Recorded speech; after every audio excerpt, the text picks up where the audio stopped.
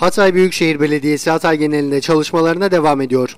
İl genelinde yol yapım çalışmalarını sürdüren ekipler, kış aylarında ulaşımda sıkıntı yaratan Samandağ ilçesine bağlı Erikli Kuyu mahallesinde yol bakım çalışması yapıyor. Aynı zamanda Defne ilçesi Toygarlı mahallesi 727. sokakta parke çalışmaları devam ediyor. 727. sokağa 700 metre parke taşı döşenecek. Ayrıca Hatay Büyükşehir Belediyesi Hatay geneline taziye çadırları kurmaya devam ediyor. Ekipler il geneline 100 çadır kuracak.